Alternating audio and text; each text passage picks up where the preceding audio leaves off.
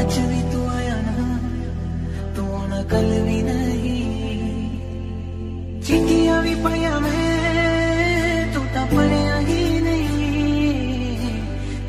है मिलना जी गल ही नहीं। इकट्ठी होके दुनिया